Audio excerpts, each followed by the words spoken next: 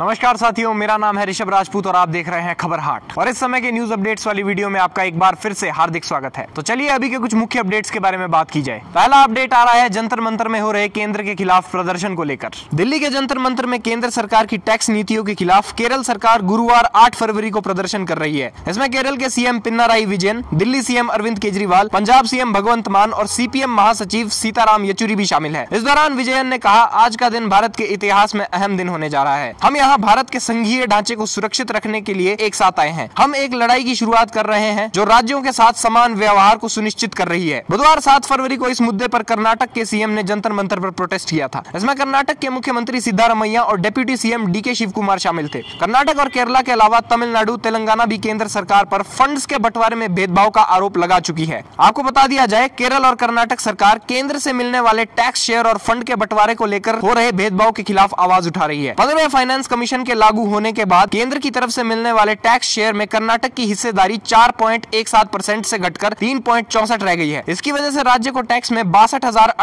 करोड़ रुपए का नुकसान हुआ है। केरल और कर्नाटक की सरकार के मुताबिक भाजपा शासित प्रदेशों को ज़्यादा फंड दे रही है। पिनाराई विजयन का ये भी कहना है की देश के सत्रह राज्यों में एनडीए की सरकार है। केंद्र सरकार पूरी तरह से इन सत्रह राज्यों को ही फेवर करती है। जो एनडीए में नहीं है, उनको नजरअंदाज किया जा रहा है। इस आंदोलन का उद्देश्य केवल केरल के ही नहीं, बल्कि सभी राज्यों के संवैधानिक अधिकारों की रक्षा करना है। इस संघर्ष का उद्देश्य किसी पर विजय प्राप्त करना नहीं है, बल्कि यह सुनिश्चित करना है कि हम आत्मसमर्पण करने के बजाय अपने हक के लिए लड़े। हमारा मानना है कि पूरा देश इस विरोध के समर्थन में केरल के साथ खड़ा रहेगा। अगला अपडेट है कांग्रेस पार्टी का संसद में ब्लैक पेपर को लेकर। कांग्रेस के राष्ट्रीय अध्यक्ष मल्लिकार्जुन खड़गे ने मोदी सरकार के खिलाफ ब्लैक पेपर जारी किया है। उन्होंने कहा है कि हम आज केंद्र सरकार के खिलाफ ब्लैक पेपर निकाल रहे हैं, क्योंकि वे हमेशा सदन में अपनी कामयाबी की बात रखते हैं और अपनी विफलता को छुपाते हैं। और जब हम उनकी विफलता बताते हैं तो हमें महत्व नहीं दिया जाता। इस ब्लैक पेपर में हमारे कुछ मुख्य मुद्दे हैं, जो कि है बेरोजगारी, जो कि देश का एक बहुत बड़ा मुद्दा है। और बीजेपी इस बारे में कभी बात करना पसंद भी नहीं करती। कांग्रेस नीति यूपीए सरकार के 10 साल के खिलाफ केंद्र सरकार की ओर से लाए जाने वाले श्वेत पत्र का जवाब में ब्लैक पत्र जारी करते हुए खड़गे ने कहा, केरल, कर्नाटका, तेलंगाना जैसे गैर बीजेपी राज्यों के साथ भेदभाव किया जा रहा है। इसलिए हमें यह कदम उठाना पड़ा है। देश में लोकतंत्र को खतरा है। बीते दस साल में चार सौ ग्यारह विधायकों को भाजपा ने अपने पाले में कर लिया है। उन्होंने कांग्रेस की कई सरकारें गिरा दी। वे लोकतंत्र को खत्म कर रहे हैं। अगला अपडेट दिल्ली सीएम अरविंद केजरीवाल और ईडी को लेकर। आम आदमी पार्टी ने दिल्ली जल बोर्ड डीजेबी से जुड़े मनी लॉन्ड्रिंग मामले में ईडी के आरोपों को सरासर झूठ बताया है। आपने कहा है कि वह पार्टी को बदनाम करने के लिए जाँच एजेंसी के खिलाफ कानूनी कार्यवाही करेंगे। आपने आधिकारिक बयान में कहा कि अगर यह सच साबित होता है कि दिल्ली जल बोर्ड के अधिकारियों या उसके ठेकेदारों ने किसी भी तरह का गलत काम किया है तो हम इसके खिलाफ सख्त एक्शन लेंगे। हम ईडी के इस सरासर झूठे आरोप की भी निंदा करते हैं कि आप या उनके नेताओं का इस मामले से कोई लेना देना नहीं है। जिन आप नेताओं के घर पर मंगलवार को ईडी ने छापेमारी की। उनके पास एक भी पैसा या सबूत बरामद नहीं हुआ। दिल्ली के मुख्यमंत्री अरविंद केजरीवाल के पर्सनल सेक्रेटरी विभव कुमार और आपके कोषाध्यक्ष और सांसद एनडी गुप्ता के घर मंगलवार छह फरवरी को ईडी की रेड होने के बाद सात फरवरी की शाम को आपकी यह प्रतिक्रिया आई। ईडी ने प्रेस रिलीज़ में बुधवार सात फरवरी को आरोप लगाया था की इन्वेस्टिगेशन और डिजिटल सबूतों ऐसी पता चला है की दिल्ली जल बोर्ड घोटाले का पैसा आप नेताओं को दिया गया है। यह पार्टी के इलेक्शन फंड के लिए भी दिया गया है। इसी बीच राहुल गांधी की भारत जोड़ो न्याय यात्रा से भी एक अपडेट सामने आ रहा है। राहुल गांधी ने कहा, भारत जोड़ो यात्रा के दौरान हमने देखा है कि देश की महिलाओं, किसानों, युवाओं और मजदूरों के साथ अन्याय हो रहा है। हमें पता लगा कि अन्याय, नफरत और हिंसा के बीच में लिंक है। अन्याय होता है तो लोगों में डर होगा, फिर बीजेपी देश में हिंसा और नफरत फैलाएगी। इसलिए भारत जोड़ो न्याय यात्रा में हमने न्याय शब्द जोड़ दिया। आइए अब ये सुनते हैं की पंजाब के मुख्यमंत्री भगवंत मान ने किस तरह से बीजेपी के ऊपर निशाना साधा। पंजाब के सीएम भगवंत मान ने बीजेपी पर साधा निशाना। उनका कहना है की अपने काम छोड़कर हमें यहाँ जंतर मंतर आना पड़ा। चंडीगढ़ के मेयर चुनाव में घोटाला हुआ 25 परसेंट वोट का घोटाला कर गए। आगे कितना घोटाला करेंगे, हमें इस बात की चिंता है। इसी के बीच आपको कुछ झारखंड के अपडेट्स दिए जाए। ज़मीन घोटाले में मनी लॉन्ड्रिंग के तहत गिरफ़्तार हेमंत सोरेन और आर्किटेक्ट विनोद सिंह के बीच चैट होने का ईडी ने किया दावा। जाँच एजेंसी ने कोर्ट में हेमंत सोरेन और आर्किटेक्ट विनोद सिंह के बीच पाँच सौ उनतालीस पेज के व्हाट्सएप चैट होने की बात कही। इसके कुछ पेज कोर्ट में भी पेश किए हैं। यह चैट ट्रांसफ़र पोस्टिंग को लेकर लेन देन से संबंधित है। इसमें कई गोपनीय सूचनाएँ भी है। यही नहीं, इसमें झारखंड स्टाफ सिलेक्शन कमीशन परीक्षा में शामिल कई कैंडिडेट्स के एडमिट कार्ड भी शेयर किए गए हैं। इसी बीच हेमंत सोरेन की रिमांड पाँच दिन और बढ़ा दी गई है। ईडी ने अपनी रिमांड पिटीशन में कहा कि जिस मोबाइल से विनोद और हेमंत के बीच चैटिंग हुई, वह मोबाइल पेश करने के लिए कहा था। लेकिन हेमंत सोरेन ने वह मोबाइल ईडी को नहीं दिया। पाँच दिन की रिमांड खत्म होने के बाद बुधवार को ईडी ने उन्हें पीएमएलए कोर्ट में पेश किया था, जहाँ ईडी ने सात दिन और रिमांड मांगी। कोर्ट ने पाँच दिन की रिमांड को मंजूर किया है। अगला न्यूज़ अपडेट बिहार के सीएम नीतीश कुमार को लेकर। बिहार के मुख्यमंत्री नीतीश कुमार ने बुधवार को पीएम नरेंद्र मोदी के साथ की मुलाकात। दोनों के बीच करीब तीस मिनट की बात हुई। इसके बाद नीतीश नीतीश कुमार, गृह मंत्री अमित शाह और बीजेपी के राष्ट्रीय अध्यक्ष जेपी नड्डा से भी मिले। मुलाकात के बाद मीडिया से कहा, अब यही, यानी कि एनडीए में रहेंगे। बीच में दो बार ज़रूर इधर उधर हुए, लेकिन अब कहीं नहीं जाएँगे। लोकसभा चुनाव के लिए एनडीए में सीट शेयरिंग बोले, अभी इस बारे में बात करने का कोई मतलब नहीं। बिहार में एनडीए सरकार बनने के बाद सीएम नीतीश की पीएम मोदी से यह पहली मुलाकात है। और सूत्रों से यह भी खबर आ रही है कि नीतीश एल के आडवाणी से भी मिल सकते हैं। और इस समय की एक बहुत बड़ी और इंटरेस्टिंग न्यूज़ आ रही है हरियाणा से। हरियाणा में सौ करोड़ सहकारिता घोटाले की जाँच का दायरा बढ़ाकर सीएम मनोहर लाल खट्टर ने मास्टर स्ट्रोक खेला है। उन्होंने उन्नीस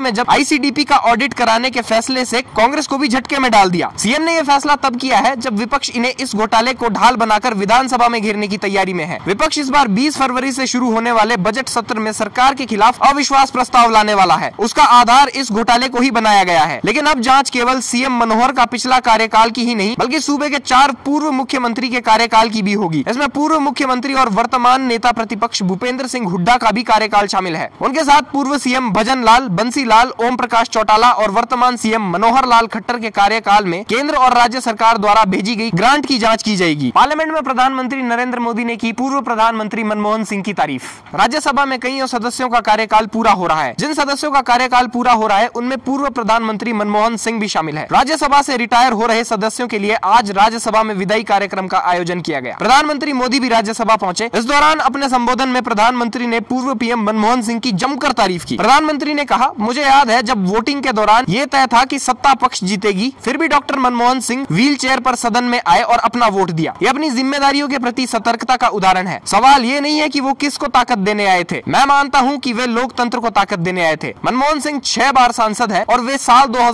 से 2014 तक देश के तेरहवे प्रधानमंत्री रहे। पीवी नरसिम्हा की सरकार में मनमोहन सिंह ने वित्त मंत्री का रोल निभाया था और उन्हीं के कार्यकाल के दौरान देश की अर्थव्यवस्था में उदारीकरण का दौर शुरू हुआ था। तो ये थे अब तक के कुछ मुख्य अपडेट्स अगर आपको ये वीडियो पसंद आई तो इस चैनल को सब्सक्राइब वीडियो को लाइक एंड हमें कमेंट सेक्शन में बताइएगा कि आपको हमारी पत्रकारिता कैसी लगी। देखते रहिए खबराहट। मैं हूँ आपके साथ ऋषभ राजपूत। स्टे अपडेटेड धन्यवाद।